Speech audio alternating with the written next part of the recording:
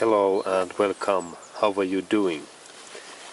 Next I plan to show you that what is this what is V6 motor.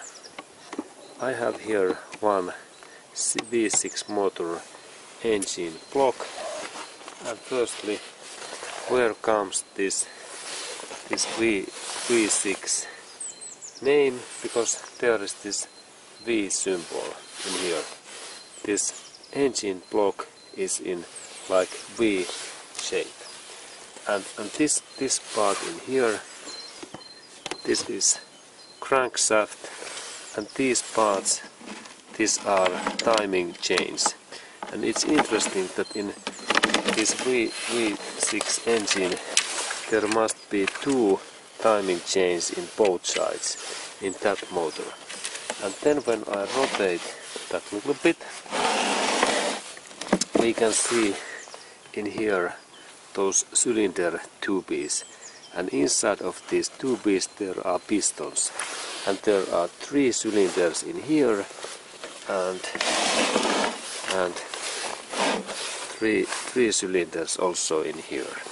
And then we have together this total amount is then six cylinder. And what what is this V6 best those benefits. If we compare to straight 6 or then this normal straight 4 cylinder engine.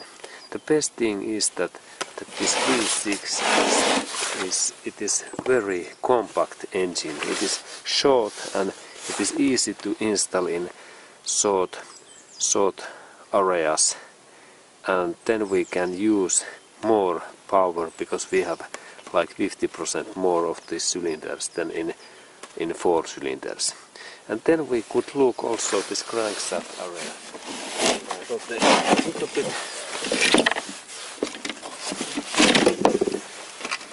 There is this there is this crankshaft and it's it's it's quite similar than in four cylinders. Actually it is very similar crankshaft than in four cylinders. There's only six those places to connection rods and pistons and here is this this this uh, crankshaft. Okay and this was this information. What is this uh, six cylinder V V6 engine block okay and thank you for watching